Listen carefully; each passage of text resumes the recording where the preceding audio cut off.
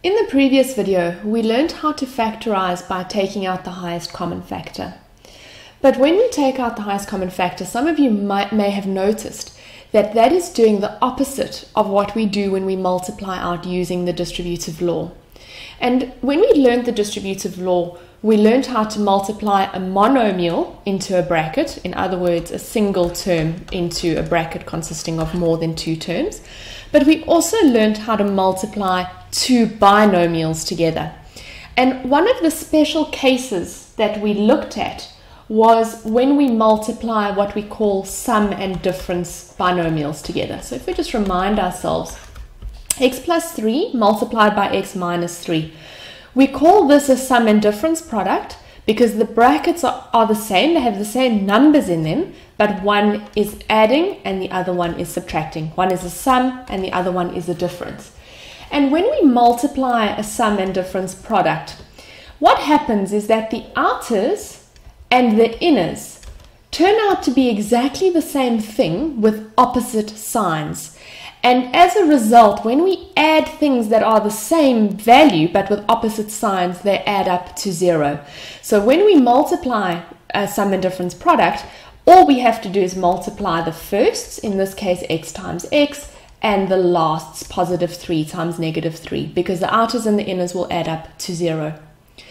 Let's have a look at another one. So 2a plus 3b and 2a minus 3b.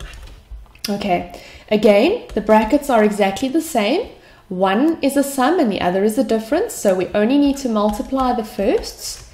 2a times 2a is 4a squared, and the last positive 3b times negative 3b is negative 9b squared. I want us now just to look at the features of the product of sum and difference brackets. So if you look at the x squared, x squared is something we would define as a perfect square because it can be square rooted. The square root of x squared is just x. But 9 is also a perfect square because it's 3 times 3. So in a sum and difference bracket, because the brackets are identical, when you multiply the first, you're multiplying something by itself. So your answer should always be a perfect square because that is the definition of a perfect square is that it has two factors, two things that you multiplied that are exactly the same. And the sign in between them is a minus. And that is because whenever you multiply a positive and a negative, your result is always going to be a negative. The same thing is true of this expression here. 4a squared is also a perfect square. So is 9b squared. And the sign in between them is also a negative sign. So both of these expressions are what we could describe as being the difference, in other words, subtracting the difference of two squares. Both terms, it's a binomial expression. The, uh, both um, terms in the expression are perfect squares. So we call the product that comes from a sum and difference bracket the difference of two squares. So now, if we want to factorize the difference of two squares, we can use exactly that concept but in reverse. So, for example, if we want to factorize the expression y squared minus 25, y squared is a perfect square, 25 is a perfect square, and we are subtracting them. So, this expression is the difference of two squares, and I will sometimes refer to those as dots, just for short, difference of two squares, okay? And we know that the difference of two squares will come from a product of two binomials that look exactly the same, except one is a plus, one is a sum, and one is a difference. They need to look exactly the same, so y times y, and 25 is 5 times 5. So we can factorize the difference of two squares by writing them as the product of sum and difference binomials. Okay, if we look at another one, um, 1 minus x squared. Right, one is often difficult to recognize. We often miss that one actually is a perfect square. The square root of 1 is 1, so it can be written as 1 times 1. So 1 is a perfect square, x squared is a perfect square, so this is the difference of two squares. We can therefore factorize it into a sum and difference binomial. 1 times 1 gives us 1, and x times x gives us 1. All right.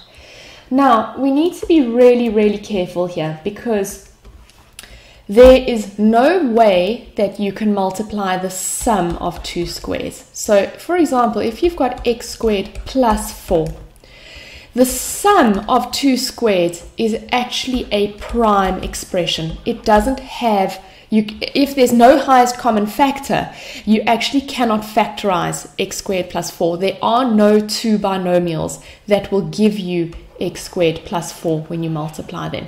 So if it's the sum of two squares, be careful. If there's no highest common factor, then that expression is going to be a prime expression. All right, there are some examples in your homework book. If you can please pause the video here and try those examples on your own. Right, a squared minus 1. Your first job is to look and see is there a highest common factor? There isn't. a squared minus 1, there's nothing that's common to either of those. And now we look to see whether it is the difference of two squares. So a squared is a perfect square, 1 is a perfect square. They are being subtracted, so it is the difference of two squares. They will factor into sum and difference brackets. a squared is a times a, and 1 is 1 times 1. Number two, 9y squared minus 16z squared. Is there a highest common factor? No, there is no number that goes into 9 that also goes into 16 other than 1. And y squared and z squared, there's no common variable. Let's have a look for difference of squares. 9y squared is a perfect square. 16z squared is a perfect square and they are being subtracted. So this is the difference of two squares. It will factor into a sum and difference product. 9y squared is 3y times 3y, and 16z squared is 4z times 4z. Right, and number three, you need to be very, very careful with 4x squared plus 36. It looks very, very much like a difference of two squares problem. 4x squared is a perfect square, and 36 is a perfect square. But the challenge or the problem is that they are being added and there is no way that you can add the sum or find the, the, the factors of the sum of two perfect squares. But in this case, there is actually a common factor. 4 goes into 4 and 4 goes into 36. So we can actually take 4 out as a highest common factor. 36 divided by 4 is 9. And x squared plus 9 is the sum of two squares, so it cannot be factorized any further, and that's your final answer.